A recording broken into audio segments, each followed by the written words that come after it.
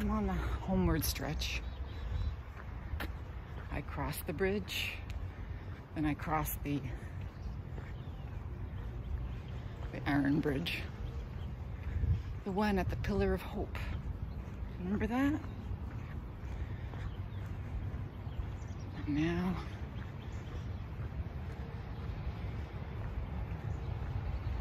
I'm back on the homeward stretch. I didn't do a full around there because it's just too barren and just too much road. So I thought, let's come back over here to where there's shade and green stuff. Although the river is totally still and yucky looking right now.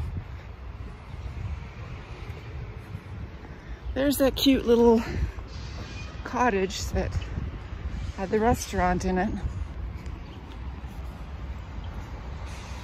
Well, at least a place where that used to be.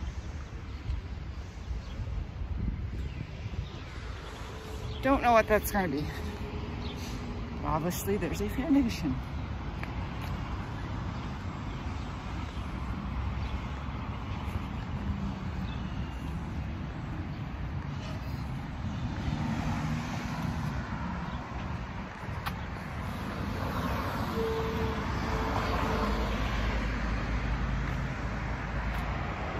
school and it's like